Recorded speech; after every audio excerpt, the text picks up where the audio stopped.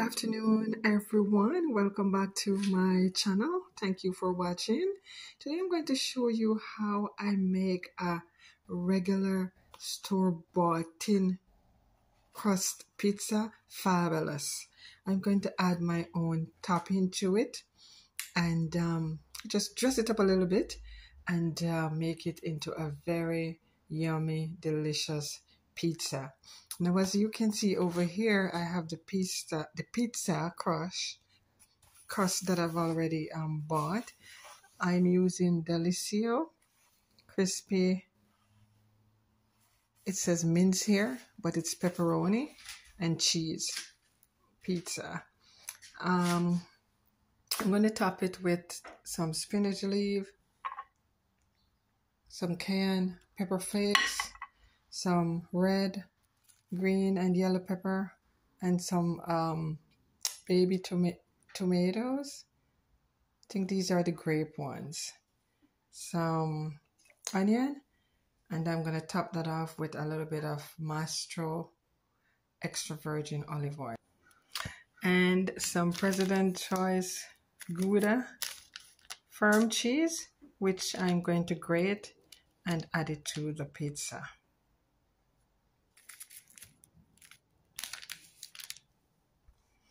So I've grated the cheese. Um, I did a generous amount because I love my pizza cheesy. Um, I did almost half of the um, the one block, and I've removed the pizza from the package, and this is what it looks like. And it's a square piece that, um, pizza I'm doing. Okay, so I'm going to start by adding the veggie. Okay, so first I'm gonna add the peppers and I'm not gonna add them in any manner. I'm just going to place them onto the pizza. And you can do this in whatever, whichever manner you want. I like to put the um, the peppers first because it's the hardest to cook. And then I'm to add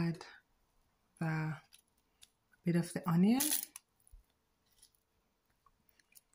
I'm going to do it layer by layer, guys. I've added most of the onion. Now I'm adding the tomatoes. And guys, you don't have to use the um, plum tomato. You can use the regular tomato or any tomato of your choice. I just think that the plum tomato gives the pizza a little bit of sweetness.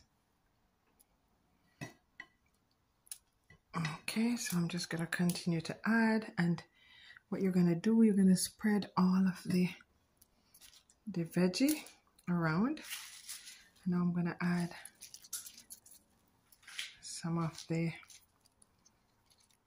spinach leaves and add that around generously because as you know it's going to shrink okay look how yummy and colorful that looks and this is a lot of spinach leaves but the reason I I did a lot of spinach leaves is because we love spinach plus it's it's easily shrunken or shrink. Okay, so I'm adding remainder. That's that that look like. And now I'm gonna add some of the cheese. And guys, you can add some of the cheese before you onto the pizza before you add the um, the veggie. You can do it in layers.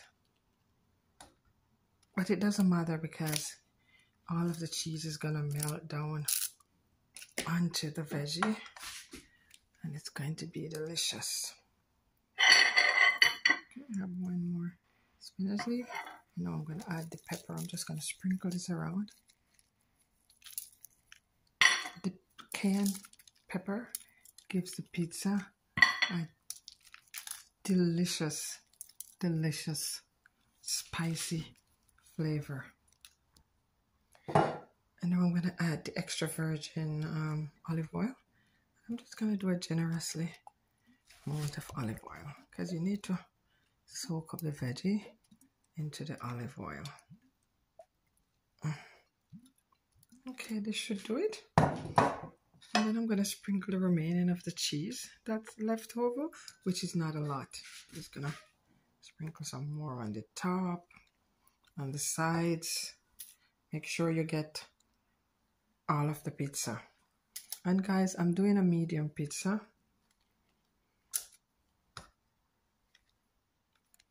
Okay, and I finished put putting all of the um, topping on the pizza and now I'm going to um, place it into the oven and I'm going to let it bake for about 10 to 15 minutes.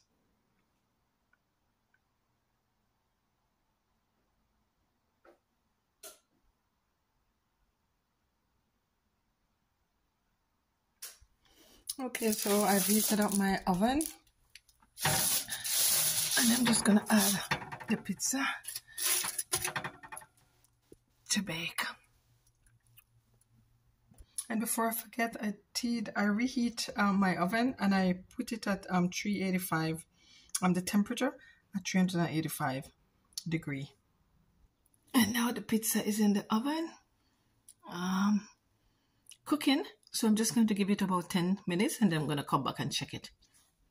Okay, thanks for watching, guys. And if you haven't subscribed, please remember to subscribe, like, and share, and a comment. Um, we like to talk. Thank you so much.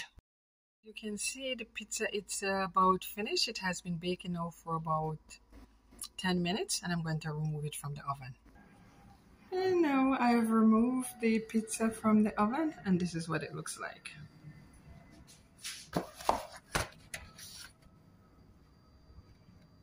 Look at all the cheese and the vegetable. Oh my god, melted onto that thin crust.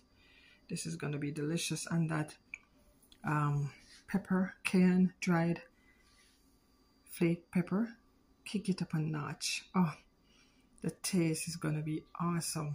Oh my god, I can't wait to sink my teeth into this.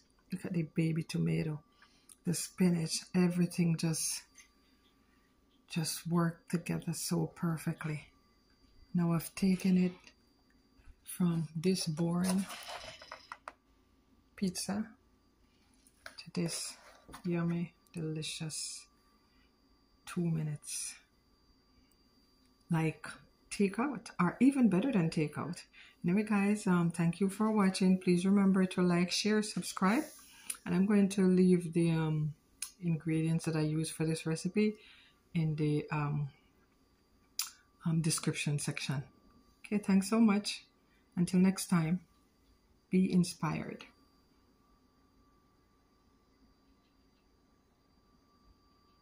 Okay, so the pizza is ready. I leave it um, out for about five minutes because it was very hot and now I'm going to slice it. And I'm going to cut it in maybe about um, six, six pieces six to eight pieces. Oh, look how delicious that looks. Actually, it's three of us, so um, we're gonna cut it into six pieces, and we're using the pizza cutter, the one that you rolled.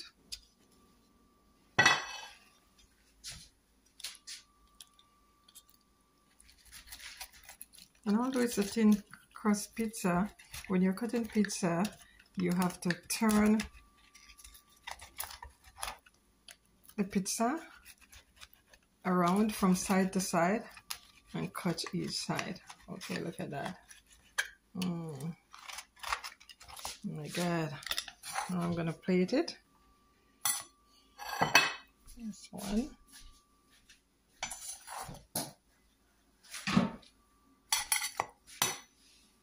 Two. Oops, the pizza is running away from me. Three pieces.